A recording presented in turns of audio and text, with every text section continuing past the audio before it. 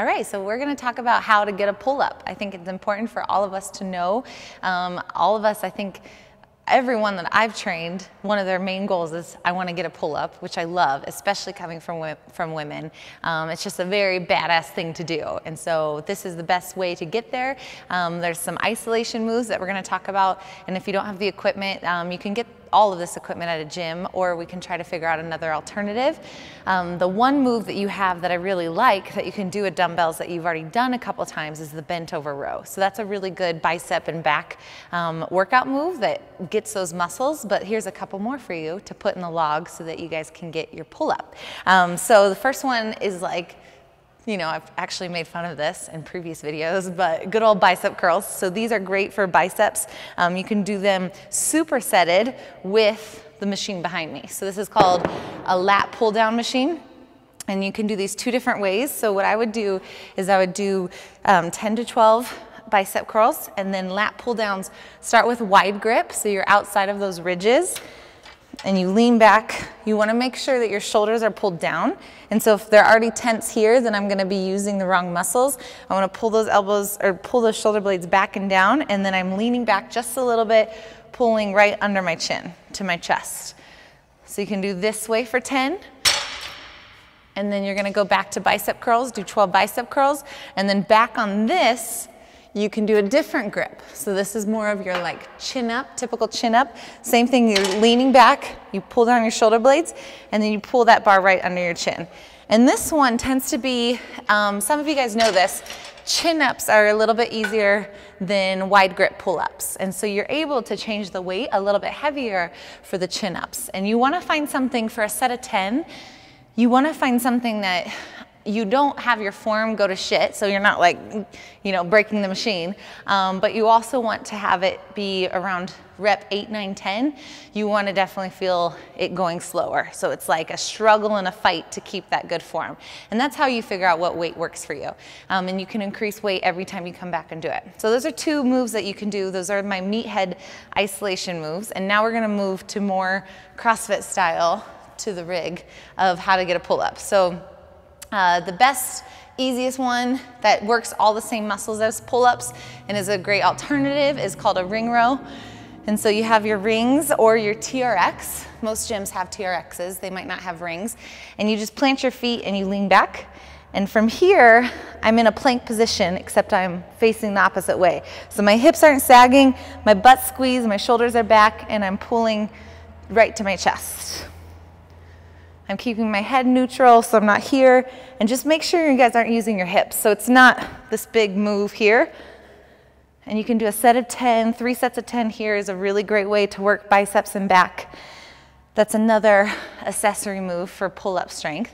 And then you can get into how to actually get into a pull-up. So there's four different things, I believe, that I want to touch on. So the first one, would it be easier if you stood on a box too?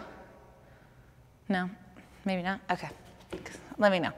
Um, so the first one is you want to find any pull-up rig that you can jump up to and get your chin over and hold as long as you can. So this is a really good one that I have my clients do sometimes. So I like chin ups for this the best. It keeps your shoulders in a good position. But you can jump into it as much as you want and you're just gonna hold. See how long you can hold this here, keeping your chin over. And then when you slowly come back down, Get your feet down, do it again. Hold as long as you can. Slowly come back down. You would do that about five times. Shake it out. The second thing you can do, you can do jumping pull-ups. And so it's jump, down, jump, down. So this is perfect for those who don't quite have that strict pull up, but want to work all the same muscles. Another one is a negative pull up. And so it's similar to holding, but you only hold for one second and then you're coming back down as slow as you can. So it looks like this, jump, jump. So it's that kind of, um, that really slow isolation hold, that concentric hold as you are coming down. Doing a set of five to 10 of those is perfect. Then you can get into assisted pull-ups. And so when you kind of have, you've been doing some of this for a while, um, two times a week, maybe some bicep curls and lat pull downs, and a couple sets of those negative pull-ups. Um, you want to think of pull-ups as a strength movement. So I have all my clients doing them in five sets of five. Just like you would your squats, just like you would your deadlifts, you want to make sure that all five of them are really, really hard. And so the bands are really great for, th for this. There's assisted pull-up machines, which are also great. You wanna find something that makes it number four and five feel like you feel like you're not gonna make it. Um, and it sucks. You rest for a little bit and do it again. So it's five sets of five pull-ups to get into a band. If you guys don't know this, actually. Hey, MK, you wanna help?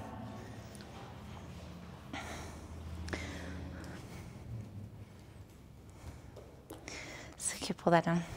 And then maybe move the box. Thanks. So you have someone help you pull that down. You wrap one foot over the other, and then you pull. So notice I'm doing the wide grip. You can do five this way, or you can also do five this way, which will be a little bit easier. And then as you get better at that, as you get better at that, uh, you will use less of a band. And so eventually, you'll be able to use no band. Um, how many pull-ups can you do, MK? Kipping? Not kipping. Not kipping? No, we want to do strict. Maybe 15. 15 strict? Maybe. Do it. Oh, Can we have a pull-up off right now? We're gonna have a pull-up off. We're gonna chuck up. You can do 15? That's crazy. Maybe. Let's find out. Try to look. Oh, man. Put your money where your mouth is. Which, where, what, what version are you gonna do? Wide grip? Okay, go ahead. You first. This is a trick. This is awesome. do you want to move that? They don't, they don't, I'm like seriously nervous right now. you can do it. Don't forget to breathe. don't call her beefcake for nothing.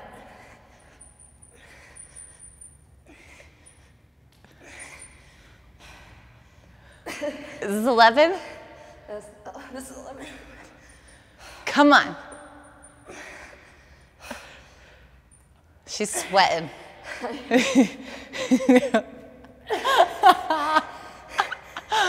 Aren't you glad you came to visit me? Go MK! Is that 15? 16. Oh shit! We're going again.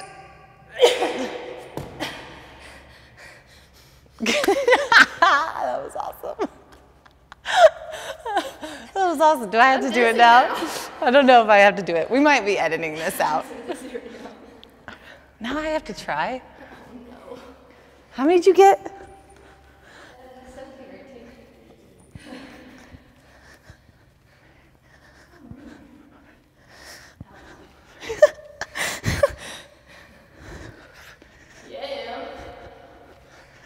Oh God.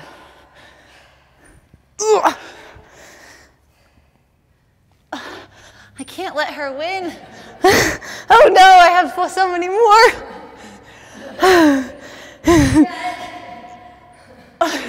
One more.